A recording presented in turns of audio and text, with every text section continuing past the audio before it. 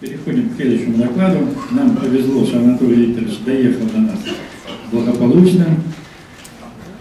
Тему доклада вы видите на слайде. Э, сперва я хотел вам рассказать о динамике только конструкции, э, которая связана с внезапным разрушением какого-то элемента. А поскольку э, эта ситуация обычно рассматривается в контексте прогрессирующее обрушение, то я решил, что немножко есть смысл поговорить и о состоянии проблемы с расчетом на прогрессирующее обрушение вообще. В принципе, отечественная традиция нормирования очень долго избегала понятия аварийного воздействия. И до сих пор избегает, в отличие, например, от Еврокода, где аварийное воздействие, там, наезды и так про пронормированное, у нас таких норм нет.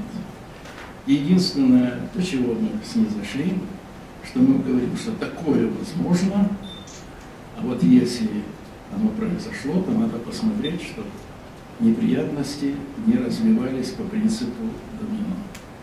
То есть, чтобы не произошло то, что они называют прогрессирующим разрушением, обрушением, в принципе, любое обрушение развивается во времени и является прогрессирующим. Э, поэтому более правильный термин, на который все больше переходят западные нормативные документы, непропорциональное. То есть инициирующее событие было малое относительно воздействия на схему, а она взяла, расползлась по всей схеме и обрушила знания. А пока что идет массовая спекуляция на этом понятии. Например, Федеральный закон 384, статья 16. Текст приведен на экране. Из него видно, что на прогрессирующее обрушение следует рассчитывать объекты, здания и сооружения повышенного уровня ответственности. Хорошо. Тут же замечание, смотрите, что в этой статье упомянуто, что это все может произойти в результате там, взрыва, там, пожара и прочих-прочих вещей, но забывают, что не только из-за этого Но идем дальше по этому же закону, тот же федеральный закон. Статья 7. А в ней говорится, что нужно проверить, по сути, любой объект на ситуацию, когда разрушается отдельно несущий элемент или часть, и повреждение части здания. Так все-таки, когда проверять надо по закону? Они знают. То есть в случае А, первый случай, только объекты класса ответственности 3, в случае Б, это случай всегда надо проверять. Но я не говорю, что московские нормы еще третий вариант вписали. ГОСТ, недавно вышедший, что пункт 5.2.6 упоминает о прогрессирующем обрушении и говорит, что расчет на прогрессирующее обрушение допускается не производить, если предусмотрены специальные мероприятия. Какие? Неизвестно. Вся неразбериха дополняется еще э, выдуманными иногда требованиями всякого рода районных региональных контролеров. В Иркутске что-то так потребовали, в Новосибирске так, и так далее, и так далее. Кроме путаницы с объектами, которые следует проверять на прогрессирующее обрушение, во всех этих документах игнорируется источник опасности. Например, в ГОСТе говорится, при особых воздействиях, только при особых воздействиях. Нет, мы знаем случаи, я приведу примеры, когда инициирующим событием может быть не особое воздействие. Ну, тут еще сказано, что использовать требования специальные требования. Это защита от террористов. Да, действительно, от террористов нужно защищаться крупнокалиберными пулеметами, а не увеличением количества арматуры. Но, опять-таки, другие источники опасности существуют. Применительно к жилым зданиям активность проявил МИТЭП, целую кучу рекомендаций, вот здесь они показаны. СНИСК выпустил документ МДС 2008 года, СНИСК Кучеренко. При этом концептуальный подход МНИТЭП вот здесь названы четыре пункта, которые, как я его вижу. Первое. Оценка конструкции только по критериям первой группы предельных состояний. Согласен. Второе. Отказ от рассмотрения типа чрезвычайной ситуации. Не рассматривается принципиально. Я ставлю здесь огромный вопросительный знак. Способ проверки удаление части несущих элементов здания, анализа, а что произойдет дальше. Что значит удаление? Растворить в царской водке? Не поставить с самого начала? Непонятно.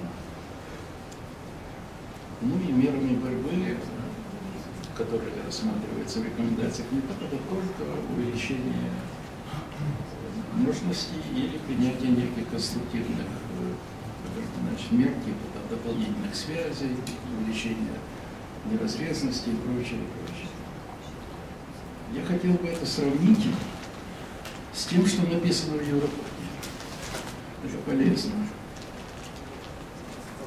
Европод говорит, что есть особые расчетные ситуации и делит их на два класса. Определенные и неопределенные. Определенные, когда мы знаем происхождение, или можем предугадать происхождение неопределенное, когда неизвестно откуда свалилась на голову, это беда. И меры, которые надо принимать, разные, в зависимости от того, это определенная ситуация, когда стратегия основана на учете особых свойств вот этих инициирующих воздействий. В частности, если мы знаем, что результатом может быть там, наезд автомобильного транспорта на колонии нижнего этажа здания у красной линии, то, может быть, можно просто поставить барьеры защитные. Если мы знаем происхождение. Не знаем, вот тогда то, что рекомендует МИДА. То есть МИДА ориентируется только на неопределенные расчетные ситуации. Чтобы закончить этот кусочек моего доклада, я хотел здесь привел список, не полный, далеко не полный, список причин, которые следовало бы учитывать, когда мы говорим о прогрессирующем нарушении. Это могут быть природные явления, землетрясения, ураганы, карстовые провалы и так далее. Это могут быть техногенные воздействия, пожары, взрывы, наезды транспортных средств, авиационные катастрофы. Некоторые из них напрямую рассматриваются, например, в подобных нормах нужно учесть. И, наконец, человеческий фактор, о котором просто забываем говорить. Это могут быть ошибки проекта, слабый элемент, просто из ошибки проекта, грубый брак при выполнении, дефекты материала и так далее, и так далее. Это абсолютно непредсказуемые вещи. Но думать о ней надо. Я могу привести примеры своей практики как проектировщика. Здесь, под Москвой, третье кольцо ПВО Москвы, рухнула система мачт, которую проектировал я, был ИПом этого объекта. Мы приехали, смотрим, а это были шесть мачт высотой 110 метров, между собой связаны горизонтальными оттяжками, и в конце лишь шли оттяжки контера. А из плоскости каждая мачта развязана. Вот легло это все как домино, приехали, лежит куча металлолома, легла в одну сторону, явно обрыв вот этой концевой оттяжки. Идем вдоль нее, целенькая, дошли, анкерный тяж, оттяжка соединяется с анкерным фундаментом, тяжелый, которые там присоединяются к анкерной плите, на болтах 4 болта. Анкерная тяжа выиграли. Значит, алло. Значит, полетели болты крепления, раскапываем. Четыре болта в смазке. Там никогда не было гаек. Как же стоял объект. А его приткнули, забыли привинтить, засыпали. Это было осенью. Замерзло. Лед держал. Весной это лед. Вот это то, что здесь перечислено. Грубый брак в работе. Тоже отказы в Ну а теперь к тому, о чем в основном посвящен доклад, а вот как учитывать это выбытие в статике или в динамике. Внезапный выход, когда или разрушение, или же вот тот случай, о котором я рассказал, когда никакого разрушения нет. В первом случае нужно рассматривать динамический эффект, это внезапное значит, связано с динамическими эффектами. Во втором случае можно ограничиться статическим анализом. Вот простейшие два примера. Динамический наезд, статика. Не поставили болты, это снимок реальный. Болты просто не поставили. Вот и все. И люди, которые много влазили по конструкции, могут таких примеров привести много.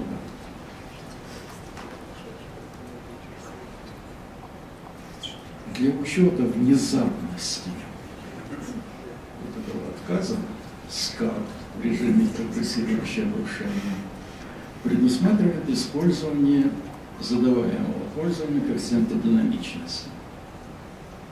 Это старый прием, и очень давно, когда мы проектировали э, испытательный корпус э, Сибирского института авиации СИПНИА, мы так поступили. Там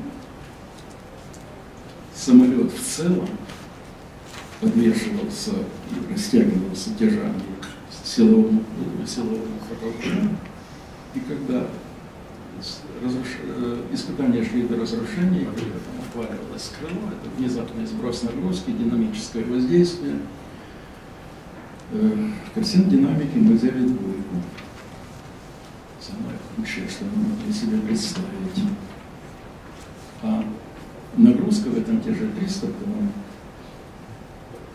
И вот 600 тонн мы это считали эту жуткую конструкцию. Но известно, вообще говоря, что вот такой квазистатический расчет с коэффициентом динамики, он справедлив только для системы с одной степенью свободы. Только. В любом учебнике это приводится именно так. А для многоэлементной системы более-менее приличные результаты можно получить лишь в том случае, когда форма деформации под статической нагрузкой, та, которая была, и форма деформации динамики близки в каком-то смысле. Если они отдалеки друг от друга, понятие динамического коэффициента просто лишается смысла. Ну, простейший пример. Там, в статике все перемещения были с одним знаком, в динамике один плюс, другой минус – а к чему динамический коэффициент относится? К минусу. Почему? Это совершенно понятно, но об этом не задумывается традиция использования динамического коэффициента. Настолько въелась в наши мозги, что мы об этом просто не думаем. Вот пример. Очень поучительный пример. Ферма нагружена статически, вот этот вот элемент между узлами 12 и 6, я буду полагать, что его, он внезапно разрушился. Расчет проводился в скаде, и я показываю, как это анализ шел. Первое. Элемент был удален, но его действие на систему заменено реакциями по закону основных, из основных законов механики, это не меняет состояние равновесия, как кажется. Освобож... Принцип освобождаемости от связи, так называемый. Дальше. Что означает, что внезапно разрушился элемент? Это внезапно приложены силы обратного направления, которые занулили вот эту реакцию. Вот так и шел расчет. Внезапно приложены силы. А что значит внезапно? Был использован. Вот такой вот закон изменения этой силы во времени, что она очень быстро нарастает, интервал от нуля до максимума очень мал, а дальше?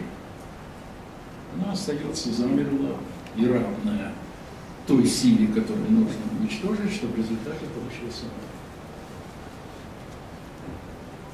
Дальше расчет шел в режиме прямой интегрированного уравнения движения, есть такой режим СКАТ. Вот описание, это файл с описанием закона, который графически был представлен на предыдущем слайде. И файла нулевой шаг по времени, одна сотая секунды, сперва ноль через одну сотую секунды единица и дальше, дальше единица. То есть вот этот вот нарастание за одну сотую секунду. Очень быстро. Если вы спросите, откуда я взял одну сотую, вы спросите. Мне показалось, что это очень много. Хотя я потом к этому вопросу вернулся.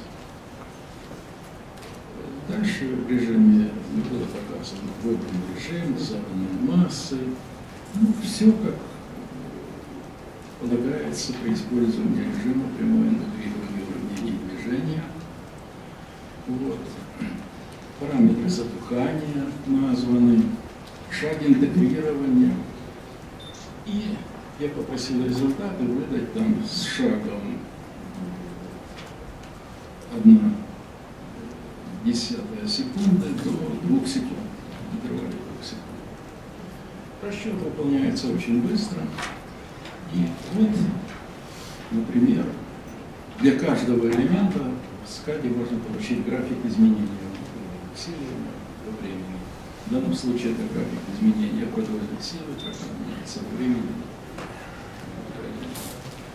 Это можно для каждого элемента, но для удобства анализа оцифрованно этот график удобно перенести в Excel. И вот в Excel рассматривается вот это изменение во времени, но с поправкой, очень важной поправкой. Динамика, вот весь этот график, отсчитывается от нуля. А у нас усилия в элементе должны отсчитываться от его статического состояния. Значит, было добавлено, исправлено в Excel, добавлена статическая компонента, и вот, например, для четырех элементов выведены графики изменения усилий во времени. На что я хочу обратить внимание? Максимумы или минимумы достигаются не одновременно. Вот выделены кружками значения, а здесь они желтым сказать, подчеркнуты значит, в таблице. Это очень важно. Нет одновременного достижения, которое было бы, если бы это была система с одной степенью свободы или система там, синхронно движущаяся. В действительности, я потом, сейчас я об этом скажу, вот смотрите, наверху деформация в статике от того, что исчез элемент. Вот в динамике. И из-за этого, вот в этом сопоставлении, которое я хочу вам преподнести, смотрите, что происходит. Вот для всех стержней системы таблица представлена. Статика в исходной системе, статика в поврежденной системе, то есть без элементов. И квазистатика, то есть с коэффициентом динамики 2, что мы имеем. Следующий толпец – это динамика, э, поскольку пример заимствован был из аналитического решения профессора Чернова, это та динамика, которую получил он. Следующий это динамика, которую получил, получена с Эти два столбца. Эти два столбца отличаются очень ненамного, там максимум где-то в одном из элементов 8%, но это очень малое усилие. А вот, например, отличие динамики от статики двое. В динамическом расчете 13,9, ну, 14 тонн практически. В квазистатике с коэффициентом динамичности двойка, всего 6. То есть это даже не запас расчет с э, динамического коэффициента. Вот в каркасах здания, смотрите, если удалена крайняя колонна, статическое деформирование, ну вот такое здание заваливается в бок, и это не очень сильно отличается от формы колебаний. А вот если удалена одна из средних колонн, то смотрите, в статике деформация ригеля просели, а в динамике это боковое смещение.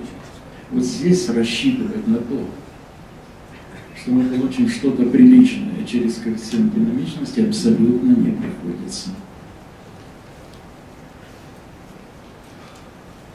И можно высказать несколько рекомендаций практически.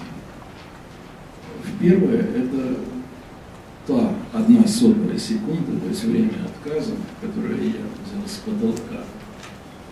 В принципе, в нормах по проектированию мостов рекомендуется брать этот э, интервал времени равный не более чем одна десятая от э, периода первой формы собственных колебаний поврежденной конструкции не целых, но не более чем одна сотая секунда. Это первая рекомендация. Это американские нормативные документы по проектированию мостов.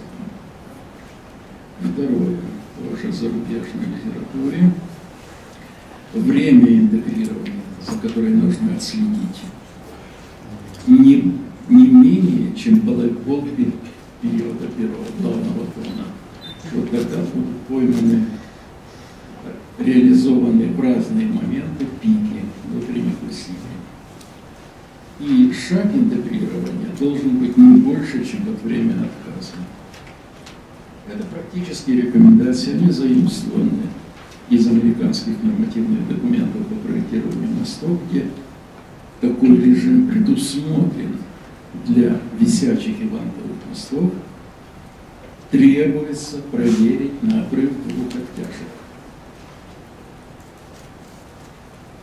Двух вантов, прошу прощения, вантовых мостов. И там даются такие рекомендации. А что касается рекомендаций по выбору тех элементов, которые нужно, в кавычках, удалять, ну, в системе их куча, и, конечно, здесь нужно проявить какую-то изобретательность, анализ, чтобы выбрать представительные чутье, если. Ну, в конце я подведу итоги в виде некоторых тезисов. Тезис один. Следует считаться с возможностью появление локальных отказов конструкций, полная защита от которых принципиально невозможна. Нельзя защититься полностью от брака в работе. Принципиально нельзя защититься.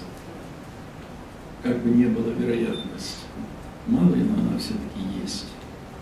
Нельзя защититься от некоторых э, явлений естественного смерча, на который рассчитывается сооружение атомной промышленности. И задачей проектировщика является понимание происхождения от той неприятности, которую следует проанализировать. То есть принцип понимания ситуации – это первый тезис. Тезис 2. Ну, наиболее опасным является, конечно, цепное развитие ситуации. Но нет никакой, никакого смысла отслеживать всю историю вот этого цепного развития. Достаточно проверить первый шаг. Если за локальным разрушением следует другое, то хватит. Это уже плохо. Оно уже не локализовано, оно уже распространяется. То есть э, в качестве рекомендации высказать это принцип контроля первого шага. Только первый шаг контролировать следует. Тезис 3 анализ происхождения чрезвычайной ситуации, он расширяет возможности проектировщика. Не хочет держаться? А использование вместо реальных аварийных воздействий их каких-то условных аналогов, он, конечно, облегчает расчет, но исключает другие меры защиты. То есть путь не так, анализ на некую условность, мне кажется, вообще говоря, опасный. Потому что мы таким способом защищаемся от террористической угрозы, от брака и всего. Защита должна быть другой, разная. Четвертый тезис. Многие исходные процессы связаны с динамическими эффектами, это продемонстрировать. И пятый тезис. Если цепное развитие процесса неизбежно, бывает случай, мы никак не можем избежать его, то тогда основной задачей проектировщика становится его локализация и управление последствиями аварии. В частности, что такое локализация? Прекрасно известны два принципа противопожарной защиты. Противопожарный разрыв – или брандмауэр. Это принцип локализации. Дальше не пустим. Обрыв одного из э, проводов линии ЛЭП. Это рассчитывается. Поэтому через некоторое число промежуточных опор ставится анкерная. Принцип Брандмауэра реализуется. Дальше не пустим.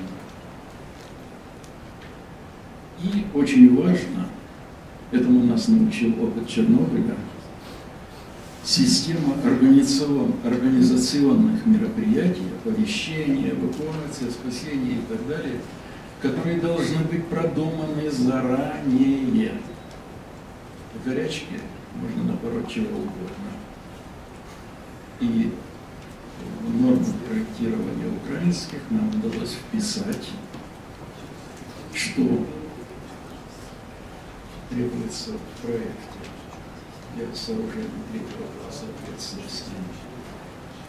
Иметь раздел «Безопасность», и там должны быть как минимум продуманы эти мероприятия. Я кончил свой доклад, готов ответить на ваши вопросы. Вопросы? Нет, ну, я буду считать, что гениальный докладчик. Так все здорово объяснил.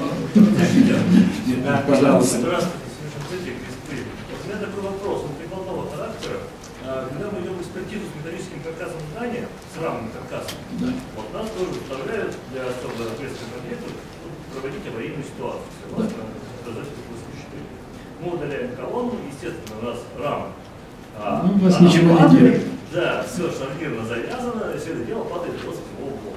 И тот, кто блок, наверное, тоже падает, и это, скорее всего, Что Значит, в? Значит, смотрите, э, ну, нужно иметь, конечно, какие-то аргументы, чтобы с экспертами беседовать. Первое, про, про, значит, следует обратить внимание эксперта вот на какую ситуацию, что если в гражданских зданиях, предположим, даже несущая охрана, в обычном режиме под действием постоянных и длительных нагрузок, ну, нагружено там, предположим, на 60-70% своей несущей способности, то в промышленном здании она нагружена максимум на 15%.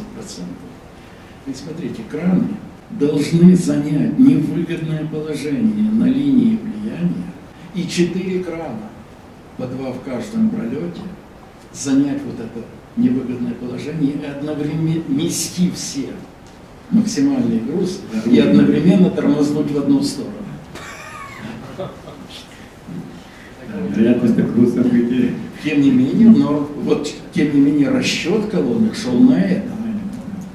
А реальное напряженное состояние, если вы покажете, что под действием постоянной длительной нагрузки, как напряжена колонна, то вы скажете, на всякий случай, тут есть бешеные запасы. Не колонна, надо, короче, не выйдет. Не надо удалять колонну. Да, там может в колонне полететь решетка, там какая-то, ветвь колонны, если это двухветвая колонна от наезда кара может быть там повреждена, но не колонна в целом. Вот что бы делал я в той ситуации, о которой вы меня спросили. Ну, таком здание, как общественное здание. Заставляет считать. Подождите, подождите, промышленное. Нет, шел о промышленном здании. Теперь промышленное, общественное и гражданское здание.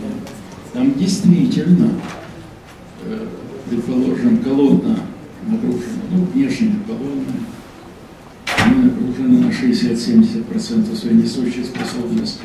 И наезд КАМАЗа, удар по нему может вышибить эту колонну. Это реальная ситуация. Другое дело, как защищаться, арматуру гнать или э, поставить ограждение, чтобы не наехал КАМАЗ. Это то, что формально нам это право нормы не дают, но если эксперт, формалист, вы, нет, вы через него не перескочите, только взятку, если дадите. А если это инженер и воспринимает доводы, то он может эти доводы услышать. Ну, это крайняя колонна, средняя. Средняя колонна реально нереально. Значит, я говорю, что такое хороший проектировщик, в отличие от начинающего? Хороший проектировщик – это тот, который может придумать по возможности большее количество страшилок. Ага, а вот это, а я вот такое предусмотрел, а вот это, а я вот такое предусмотрел. Значит, вы должны анализировать, возможно, невозможно. Если невозможно, то у вас есть, по-видимому, какие-то доводы, почему это невозможно. Если же вас нет таких доводов, а доводы должны быть против любой ситуации, которую придумает, может быть, не вы эксперт. Он скажет, а у вас что там зимнее бетонирование, этот бетон ничего не стоит, это грубый, грубейший брак в работе ничего не держит вашу колонну. Что вы можете возразить? Да ничего. Только да, можете возразить, да, вот для этих элементов я предусмотрю дополнительный контроль при, возведении и прочее, прочее, прочее. То есть какие-то слова сможете произносить. Убедите вы друг друга или нет, я не знаю. В принципе, хороший проектировщик, потому и хороший проектировщик, что он знает свое дело лучше, чем эксперт. Значит, вопрос только, верить ему или нет, что он лучше знает. Ну, что, время. Следующим докладом.